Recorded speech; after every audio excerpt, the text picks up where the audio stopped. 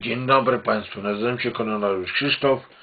Wiele poświęcam dla ludzi dorosłych, ale sobie pomyślałem, że trzeba teraz poświęcić troszkę dla maluszków. Tych, co leżą w kolubeśku, po maluszku. I mówią mama, mama, mama, daj mleczka.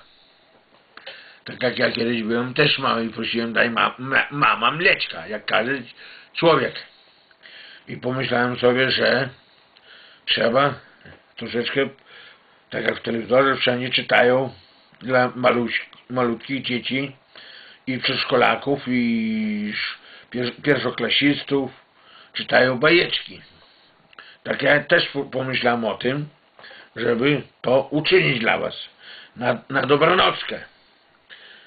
I posłuchajcie, kochani moje maluśkie dzieciaczki, taki będzie bajeczka Bambo. Bambo. Murzynek Bambo w Afryce mieszka, czarną ma skórę ten nasz koleżka. Uczy się pilnie przez całe ranki ze swej murzynki, murzyńskiej pierwszej czytanki. A gdy do domu ze szkoły wraca, psoci figluje, to jego praca. Aż mama krzyczy, Bambo, łobuzie. Ach, Bambo, czarną dy, nadyma buzię. Mama powiada, napić się mleka. A on na drzewo mamie ucieka. Mama powiada, chodź do kąpieli, a on boi się wybieli.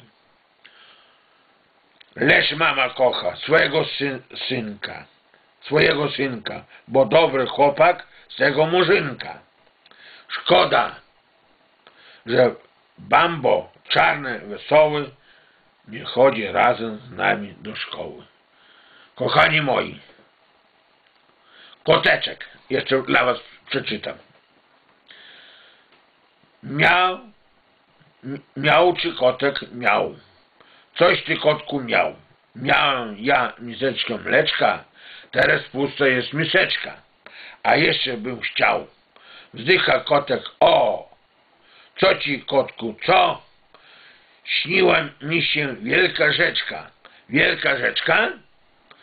Pełna mleczka, aż po, sam, po samo dno. Piesną kotek pili, pi, pi, koteczku pi. Sku, skulił ogon, mruczył, lipie, ślipie, śpi i we śnie mleczko ś- chli, chlipie, bo znów mu się śni.